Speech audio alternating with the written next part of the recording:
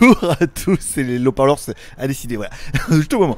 Bonjour à tous, c'est GLG et je vous souhaite la bienvenue pour cette accroti...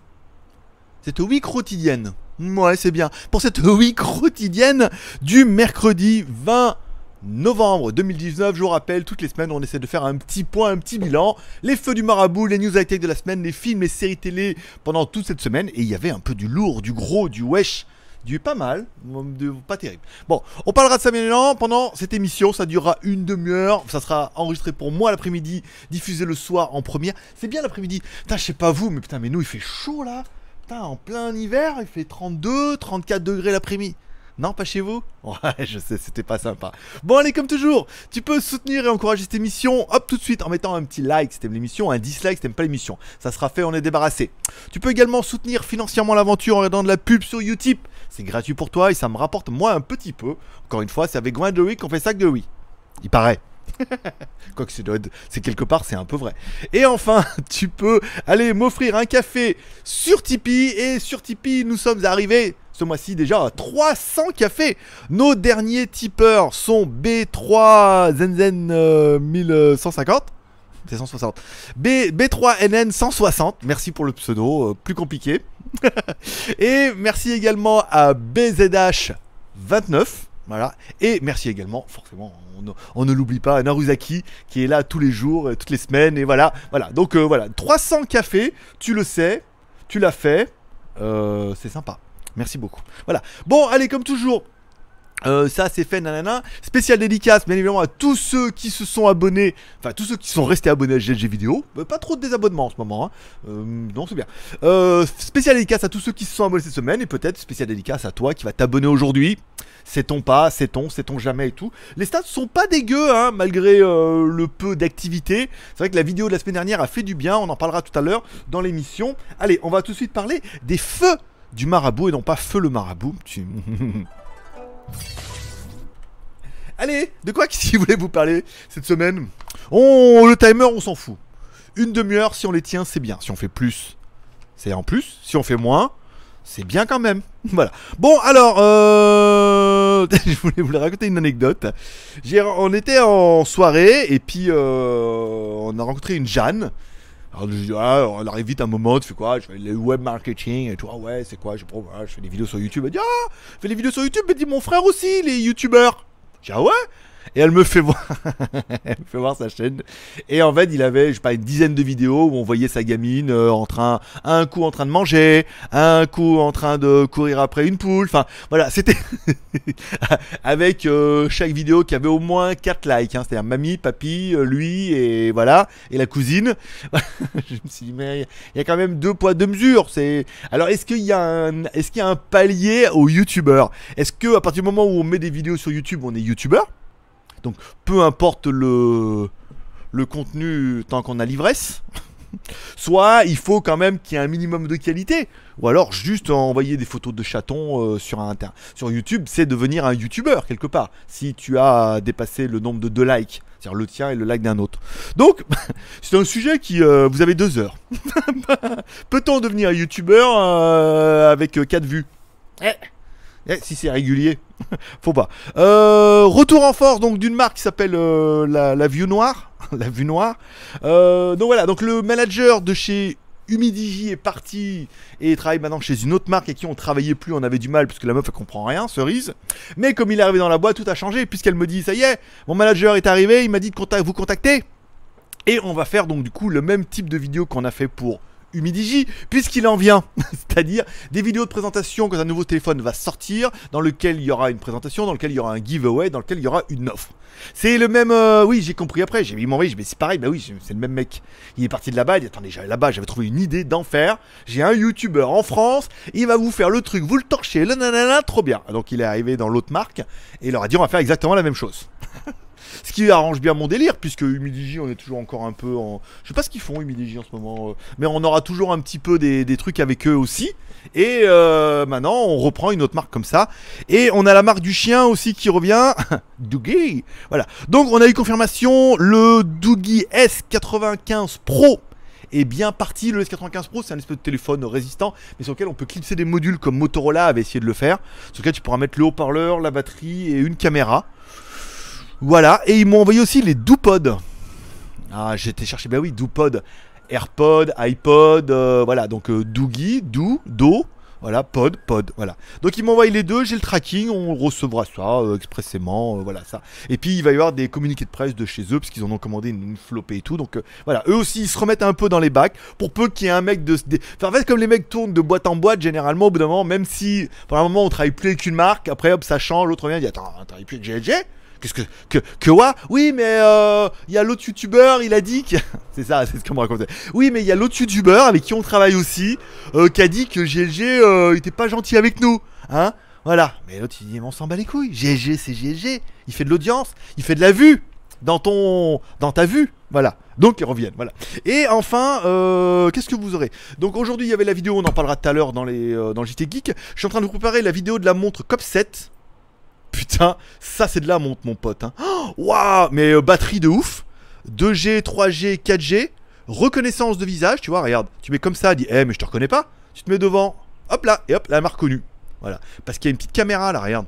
C'est ouf. Et il y a une petite caméra sur le côté en mode espion. Tu sais, genre tu filmes comme ça là et tu peux filmer sur le côté. euh, et ça filme super bien. Écran AMOLED et tout. Putain, non. Je comprends pourquoi On m'avait proposé de me l'envoyer. Puis je dis oui. Après, elle s'est perdue euh, dans le transporteur. On sait pas pourquoi. Puis après, euh, Ah, tu vas la tester. Dit, Oh, j'ai contacté le. Garbage, j'ai dit, vous ne pas, non. Elle me l'a renvoyé. Et c'est vrai, cette montre, elle est dingo, quoi. Alors, elle est dingo dans tous les superlatifs. Hein. C'est. pourquoi? Pourquoi Pourquoi avoir un, écran, on dirait plus. Un écran AMOLED, on voit aussi bien que sur mon téléphone. Voilà. Donc, ça sera la vidéo de samedi. La vidéo de vendredi, je sais pas. Je vais avoir le courage de faire une vidéo vendredi. Mal parti, hein. Euh, Dire mercredi, euh, voilà. Là, je fais la quotidienne. Sinon, je faisais pas la quotidienne, je faisais autre chose. Euh, et après, on sera bien. On sera bien là, on va pouvoir. En théorie, si je me mets bien demain et que je finis la montre, en théorie, j'ai des produits qui devraient arriver demain ou après-demain pour reprendre du retard. Non, après, c'est que des petits trucs, euh, pas d'urgence. Voilà. Donc, on est plutôt pas mal. Euh, comme cette semaine prochaine, j'ai les R. Euh, je pousse là, les R de. Alors, on attendait. euh, je devais avoir une opération sponsor là-dessus, mais la meuf, elle a disparu. Elle me dit on paye, tu vois. Euh, pff, pas un peu de nouvelles. C'est un peu comme. C'est un peu comme Oulonzi, tu vois. Ah non mais euh, oui, on envoie tout. Et après, plus personne, silence radio. Meuf, ah mais euh, répond plus aux mails, euh, plus rien. Bon, donc tout va bien dans le monde euh, merveilleux des pissounours. Bon, on continue. On va passer un petit peu aux news high tech. Tchou. Allez, les news high-tech de la semaine, on prend les news high-tech du 13 au 13, des news qui sont relayées merveilleusement sur le JT Geek, comme ça ça me permet de reprendre. Quelles sont tes sources? Bah c'est moi, moi qui écris les articles et tout, hein. qui est traduit, qui modifie, j'ajoute des fautes et tout, tu vois, comme ça, c'est bien moi. Alors on avait commencé le 13, on avait parlé la semaine dernière, mais le, voilà, c'était un sticker, ce qu'on met à l'arrière du iPhone 10, qui permet de simuler une fausse caméra. C'est-à-dire que tu as deux fausses caméras qui sont transparentes, donc qui utilisent les vraies caméras, et une troisième caméra qui est bidon et qui te permet de faire croire que ton iPhone 10 est un iPhone 11. Voilà, c'est très très drôle et l'article a très très bien marché. hein. Au niveau des clics, on sent que ça, vous a plu, hein, ce genre de, de magouille. Voilà. .com, bien évidemment. La vidéo du plus petit laptop Windows 7, nanana, euh, Full HD Indigo. Alors étonnamment, c'est pas une des vidéos qui a marché le mieux. Hein. Je me suis dit, ouais, ça va cartonner. En fait, non, on a dû faire 3 ou 4 000 vues. euh. C'était pas, c'est pas un best-seller. Moi, j'ai vraiment kiffé ce produit-là. Bon, déjà parce que je l'ai reçu gratuitement, donc j'ai pas besoin de l'acheter. Ensuite, ils m'ont payé pour faire la vidéo, et ensuite, il est super intéressant. C'est-à-dire que j'ai joué avec et j'ai remis dans sa boîte. voilà, c'est un truc de geek. On avait également donc le Realme 5S, donc qui doit être présenté aujourd'hui. Alors pour l'instant, on est un petit peu euh, voilà, je suis un petit peu en avant, j'ai pas encore vu les news, mais bon, c'est pas très très grave. Qui sera un mi entre le Realme 5 et le Realme 5 Pro. Un téléphone avec 4 caméras à l'arrière, on reprend les nouvelles tendances, 48 millions de pixels et tout. Destiné avant tout à l'Inde, est-ce qu'il arrivera en Europe? C'est compliqué, il y a déjà le Pro en Europe, autant prenez le Pro, vous faites pas chier. La vidéo de vendredi qui a extrêmement bien marché, quand Facebook sponsorise les arnaques, alors je suis quand même parti d'un titre extrêmement putaclic, mais d'arnaque extrêmement arnaqueuse, ou d'arnaquerie, ou d'arnaquesse. Donc sur Facebook, et la dernière du jour, c'est ça. Voilà. Donc t'es sur Facebook, une enceinte de Gold Speaker, tout ça, nanana, son 108 décibels. Donc ils reprennent, ils font des pages à la con, ils reprennent toutes les photos et tous les arguments marketing de l'enceinte. Et là, le problème, c'est que là, ça va pas du tout. C'est que la moins chère de chez eux en mini euh, nanana en solde hors taxe, c'est 800 balles parce que c'est 1000, euh, tu récupères la TVA, 800, et il paraît qu'il y avoir une petite entre les deux, mais bon, 37,90 c'est pas possible. C'est pas possible. Là, euh, voilà. Donc ils reprennent, vous voyez, ils reprennent tout, hein. euh, ils se font pas chier, hein. Les vidéos, les photos, le descriptif et tout. Alors ça, c'est une arnaque pure et dure. Alors, le problème, c'est qu'il y en a de plus en plus. Vous savez, j'ai vu des bagnoles électriques quand même. Alors j'ai pas mis les liens et tout parce qu'on va pas revenir une demi-heure là-dessus. Mais il y a des bagnoles électriques. Vous savez, un peu comme la. Il y avait une petite bagnole, la, Renault là. Vous savez, t'avais deux places où t'étais l'un devant l'autre. Ou l'un derrière l'autre. Ou là, quand... derrière l'autre. De, un devant et l'autre derrière. Voilà. C'est euh, Squeezie, Fizzy, euh, Wheezy. Et ben pareil, euh, il la vendait 300 dollars, un truc comme ça quoi. Donc une bagnole électrique 300 dollars. Alors le problème c'est que bon bah là l'enceinte, on voit bien qu'elle ressemble. Je me rappelle du coup, c'est en faisant que viens d'oublier la marque. on voit bien que l'enceinte, on se connaît ça quand on est un peu geek. Mais quand, on, connaît pas, on se dit ouais 37,90, un petit haut-parleur Bluetooth, euh, elle, doit être, plus petite que sur la photo, hein. Et puis en fait non, pas du tout. Là, tu peux rien recevoir euh, de cette euh, de cette à ce prix-là et tout. Et il y en a énormément sur YouTube. Mais quand je dis énormément, c'est sur Facebook, il y en a beaucoup, beaucoup, beaucoup, beaucoup quoi. C'est tous les 4 ou 5 annonces, il y en a une quoi. Donc c'est énormément d'abus. Je pense qu'il faudrait vraiment que maintenant que Facebook réagisse un petit peu, puisque il y en a quand même beaucoup, beaucoup, beaucoup trop. Voilà. Et qu'il euh, y en a apparemment beaucoup, beaucoup qui se font niquer tous les jours. Vu le nombre d'arnaques qui relancent, voilà. Il y a tout, il y a des meubles, il y a des lits convertibles, il y a tout, tout, tout. Dès que le mec trouve un truc qui est un peu bankable, qui dit oh, ça, ça va plaire, avec une bonne vidéo, il met, ils font une page et tout, et euh, Facebook euh, sponsorise tout ça allègrement. Dans l'allégresse. Euh, quand je vais vous parler? Alors, Redmi Note 8 Pro avec Snapdragon 730. Alors, apparemment, on parle d'un nouveau Redmi Note 8 Pro avec enfin un Snapdragon. Je rappelle, le net Redmi Note 8 Pro a le Snapdragon P90 donc un processeur Mediatek assez puissant quand même, destiné au gaming, mais encore une fois, ce n'est pas un Snapdragon et beaucoup préféreraient avoir un Snapdragon 730 plutôt qu'un P90, même si le P90 est très très bien et les résultats étaient très très bons. Donc il pourrait y avoir une évolution comme ça, il l'avait déjà fait à partir du Redmi Note 4 où il y avait deux versions, une Mediatek, une Snapdragon, mais là, il est clair qu'avec Snapdragon, les peu qui hésitaient en disant ouais non mais moi Mediatek, euh, je me rappelle il y a 10 ans, euh, ça marchait pas terrible. Ouais, enfin bon, c'était il y a 10 ans. c'était même ouais en 2012 voilà, ça a commencé. Les premiers processeurs 3G de chez Mediatek sont arrivés en euh, février 2011, en 3G. Bon, vous dire, j'étais là-bas, j'en ai profité. Euh, voilà, euh, merci Jésus Seigneur, hein, tu vois. Donc, on n'en est plus à cette époque-là maintenant, ça marche plutôt bien. Une Xiaomi Amazfit Nexo 4G, voilà, donc c'est une nouvelle tendance. Hein. On avait vu l'Amazfit GTR qui a très très bien marché. La Amazfit GTS, on a tout défoncé puisque j'étais le premier francophone à la faire. Très très bonne montre. Donc cette Amazfit Nexo, hmm, oui, pourquoi pas. Alors le problème de ces écrans ronds, on en parlera ici puisque celle-là, pareil, très bien. Euh, je veux dire, regarde, euh, regarde-moi. Là, je peux mettre YouTube dessus, mais sur un écran rond, euh, voilà. Et eh ben on voit, on manque des trucs. On peut pas, le zoom c'est difficile. On peut pas mettre recherche puisqu'il est en haut à gauche et que la montre est ronde. C'est moins ergonomique. Après, bon, 4G, c'est... alors est-ce qu'elle sera mieux que celle-là? Du coup, celle-là, elle existe déjà, elle est pas mal, ton sur Android 7. Yeah. Il y a même un Play Store dedans. Ouais, 4 applications, d'accord mais il y a le Play Store. il y a un store. Euh, je veux parler également. Alors, Humidigi, un article euh, rémunéré, hein, parce qu'on voit bien que c'est marqué euh, by GLG via Humidigi. C'est-à-dire que c'est eux qui nous l'ont envoyé, on l'a traduit, on l'a mis en ligne. Concernant les IP 66, 67, nana, ce qui reprend bien cette montre-là, parce que cette montre-là est IP 67, c'est-à-dire qu'elle est juste résistante au postillon. Voilà. Et au petit, hein, parce que des fois, des fois, il y en a qui partent tu sens qu'eux ils partent pour la guerre. Hein. Ils partent groupés, ils se disent nous, si on y va en force, on va tout les niquer. Alors que plein de petits, tu vois. bon, c'est ça que tu vois.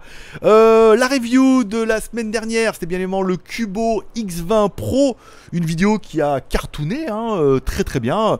Une très très bonne vidéo. Ça vous, ça vous plaît, voilà. Ça vous plaît, il n'y a pas chier. On avait fait 2 euh, ou 3 000 vues, je crois, en 24 heures. On est à 4 ou 5 000 vues là. voilà. C'est le genre de review qui vous plaît. les smartphones en mode détendu. On fait le con, on présente bien les produits, on dit bien ce aime. Je dis bien ce que j'aime et je dis bien ce que j'aime pas. Après, chacun se fait son opinion, mais ça fait partie des reviews qui fonctionnent très très bien. On parlera également de la The Blaze Thor, encore une fois. Là, on, reprend. Hein. C'est une nouvelle série. Hein. Donc là, du coup, ça sera la première samedi. C'est pas mal. Hein. Une montre avec bon un écran AMOLED, 3 Go de RAM, 3 Go de ROM, le GPS et oh, forcément le Face Unlock. Voilà, tout ça pour moins de 200 euros, qui est le même prix que l'autre.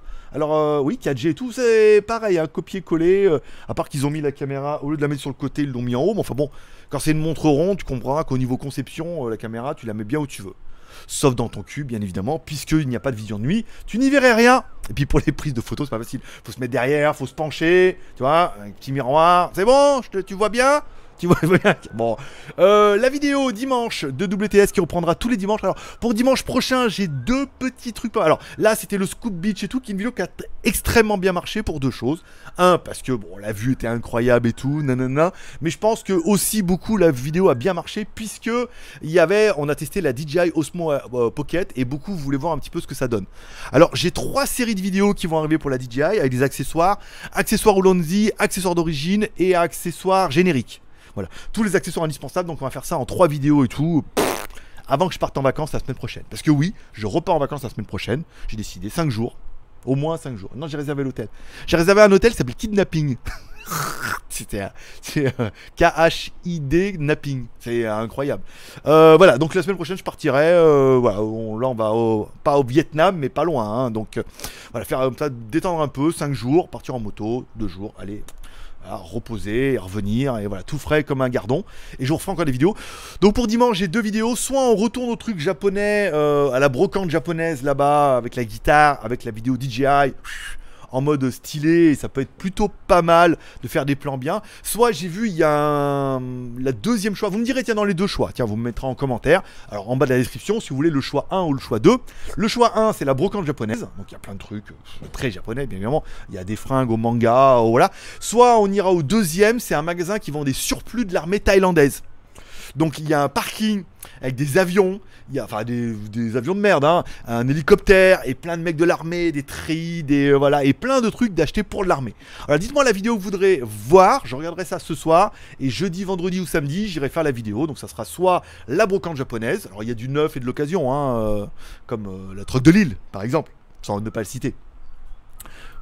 je dire brico dépôt, c'est pas du tout le même. Et soit on va regarder le surplus militaire de l'armée. Voilà. Donc euh, vous me direz euh, la vidéo que vous voulez voir et en fonction de vos commentaires, du nombre de commentaires maximum qu'il y aura pour une vidéo ou pour l'autre. Je sais pas si j'aurai le courage de mettre un sondage. Hein. Je pense pas. Non, on va mettre dans les commentaires. On est, en mode cool, tranquille. Euh, après, Lenovo Z6 qui arrive avec le premier téléphone 5G à 3299 RMB, soit moins de 430 euros hors taxe livré en Chine. Un téléphone qui est quand même plutôt bien spéqué avec 8 plus 256, la 5G, euh, une nouvelle 5G en plus avec les nouvelles antennes. Alors euh, la 5G apparemment personne n'en a, sauf les Suisses, et euh, tout le monde nous vend des technologies incroyables qui vont permettre de mieux capter la 4G que pour l'instant il n'y a pas. Mais alors quand il y aura, je peux te dire, hein, une, une Freebox, c'est à, je veux dire, c'est bon, Lyon à la 5G. Bon ou pas. Euh, on parlera également de dimanche. Le dimanche, je rappelle, on se retrouve en live. Alors, je risque encore encore de changer l'horaire des lives. Je suis désolé, puisque euh, pour vous, 17h, 19h, parce que le live dure au moins 2 heures, fait pour moi 23h, 1h du matin. Et je peux vous dire que le lundi matin, je suis défoncé, puisque je me défonce bien le soir pour vous. Euh, donc on risque de passer à 16h. 16h euh, en hiver et 17h en été. Comme ça, 16h, ça me fait 22h, moi. Ça fait 22h minuit, c'est bien. Ça fait minuit, je prends une douche, je me détends. À 1h, je couchais. Là, le problème, c'est quand je finis à 1h, je couche à 2h, je suis énervé, j'ai excité, là, on a parlé de cul et tout, alors je me couche tout seul. Voilà, donc euh, ça risque de passer à 16h. Bon, si c'est un drame pour vous, vous me le direz. Et dans ce cas, euh, bah, on fera à 16h. et si ça va bien, bah, dans ce cas, alors avec plaisir, on le fera à 16h. Voilà, au lieu de 17. Bon, on parle également de la vidéo d'aujourd'hui, la Teclas P10S 4G, une tablette 4G. Oui, elle est 4G, mais non, pas chez vous. une tablette avec un processeur chinois, c'est étonnant, le Unisoc. Le une chaussette.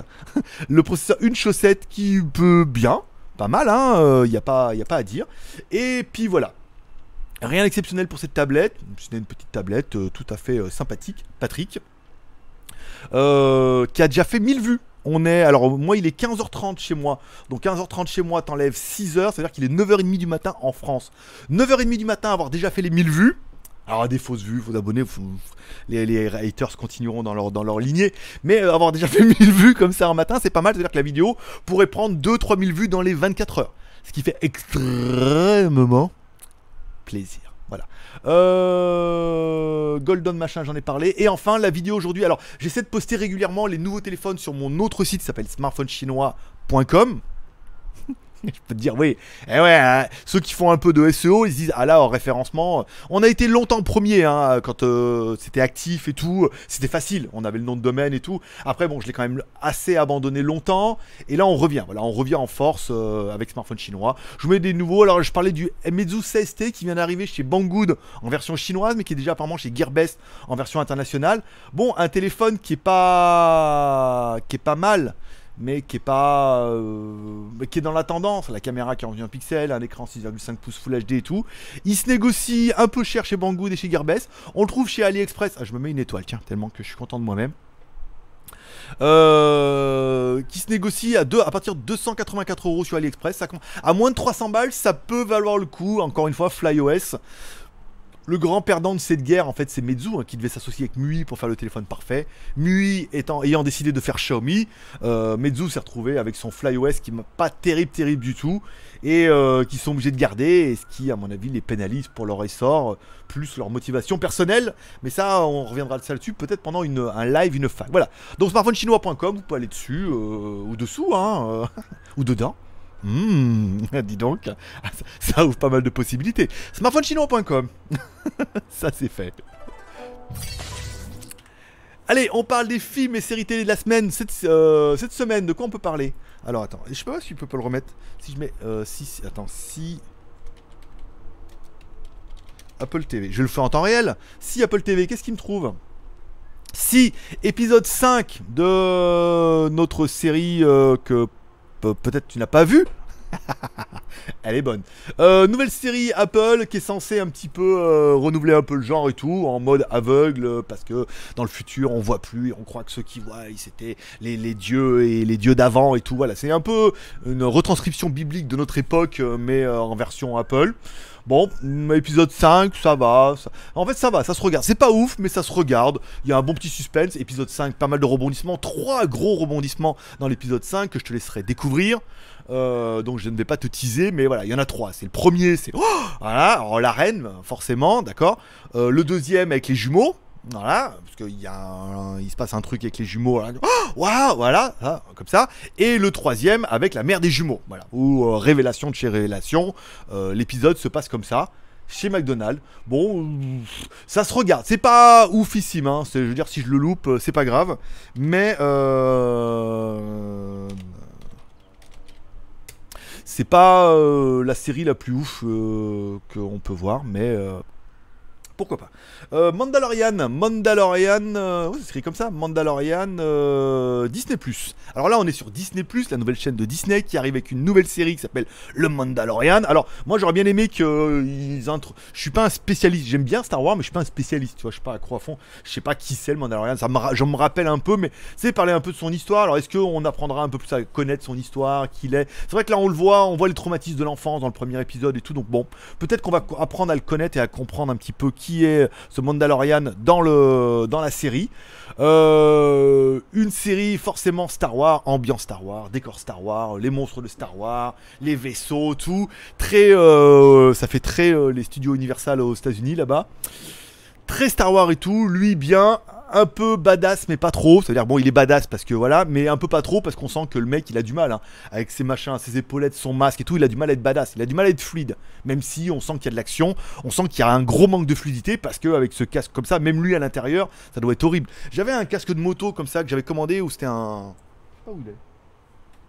C'était un faux casque de machin et on voyait, il y avait que la visière qui était comme ça. C'est horrible. C'est que tu vois pas, t'as pas de vision, t'es toujours en train de regarder comme ça. Et je pense qu'il doit avoir les mêmes problèmes euh, l'acteur en voulant faire les cascades et tout.